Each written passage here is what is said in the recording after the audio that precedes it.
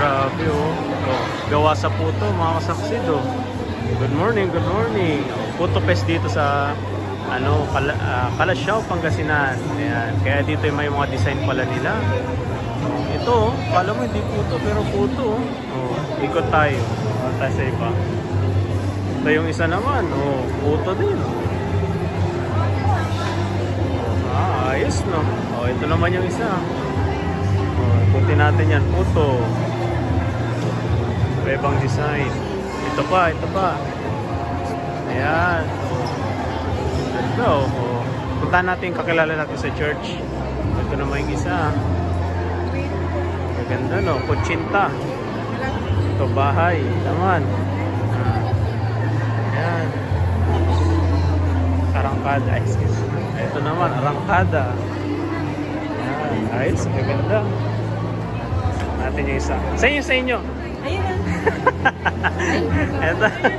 Ayan na. Ito naman yung ano yun sa buong ano to no, may mga yung may mga pwesto sa Oo. palengke. Parang gano'n. Ayan. Ito si Hazel. Kung gusto niyo punta ng puto, anong pangalan ng putuhan niyo? Gonzales and Don. Rosales. Gonzales. Ay, ayan, hindi Gonzales. Ayan pa. Hindi ko kasi na ano, Gonzales. Yun, puto. Ayan. At punta naman natin sa kanila. Wow, ito naman sa kanila. Picture sila. Oh. Ibig sabihin yan, maganda yung ano. Maganda yung set ng ano. Buong, buong buo kasi yan. Kutsinta. May, may kutsinta. Oh, yung gitna. Ay, ay, ito. Gitna pala. Ayan. Tingnan natin. Grabe, no? Titignan mo pa lang, busog na busog ka. Oh. Ayan. Ayan yung isa. Dapat may nakalagay na ano, di ba? Gonzales. Ito ah. Wala. Ay, bawal daw. May Ayan. nakita ka doon? Wala naman. Wala. Wala. Parang kada. Number lang talaga, oh. Parang kada lang nakita. Oh, ito yung isa. Parang ano, kila Hazel yung mas maganda. Putik, Oh, di oh. perfect siya. Yung andyan na lahat. Tsaka yung, yung isa kasi isang bahay lang. Isang bahay lang. Sa kanya, oh, parang tatlong bahay. Ani. Ani. Ah, kaya pala yung ano, ano inspirasyon mo sa paggawa ng puto? Ang inspirasyon na sa paggawa ng puto yung pamangkin ko. Ah, yung kapatid na sila. Nandito pala ang ano nila. Tapos mamaya, ano yun? Ayos ah. Ay, niyo ba sa DC? Sige, ikot muna ako dun ha. Itsura muna natin yung kay Hazel.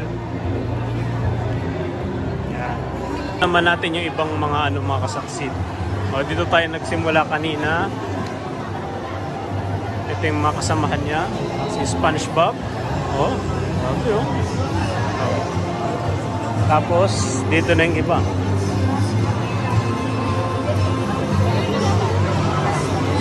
Ah, eh, putuhan. Ito ano naman to para sa naman yung mga ganito naman? 100 ways to serve.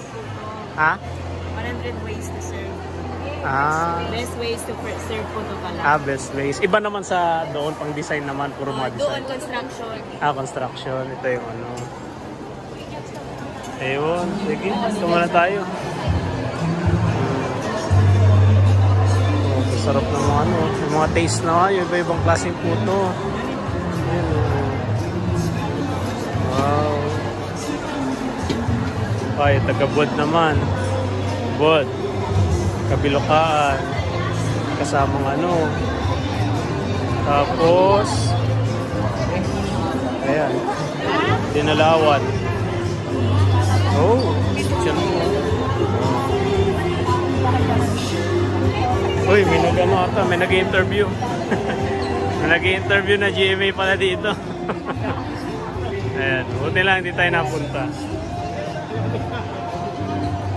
Ayan. Tapos dito naman. Ayan. Oh, ang gaganda naman na ito. Ayan. Ito mangkop. Ah, from mangkop naman. Ito sungkoy. Kanila. Wow. Diba? Nakagutom mga kasaksi. Gusto kong bumili. Gusto kong kumain.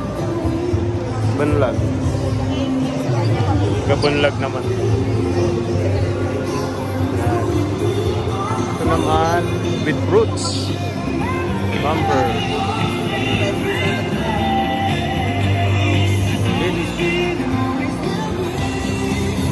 Ambunaw.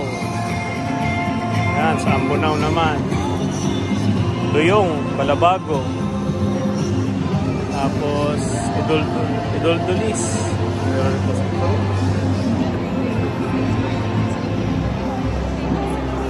Tunlag ulit.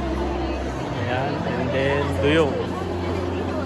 Ayan, tapos, Balani. Ayan. Ganito pala, ngayon lang din ako nakapag-video ng mga ganitong mga kasaksi.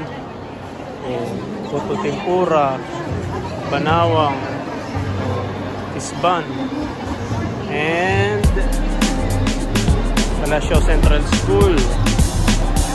Tapos, Talibao. Yan. Thank you. Ito na yung last kasaksi na Pilipinas. Yan, grabe no? Ito to. Oh, puto rin? Oh. So yun mga saksi, kung makapasyal kayo hanggang mamaya to siguro hanggang alas 10, mapagpasok, makikita niyo mga design dito mga kasaksi.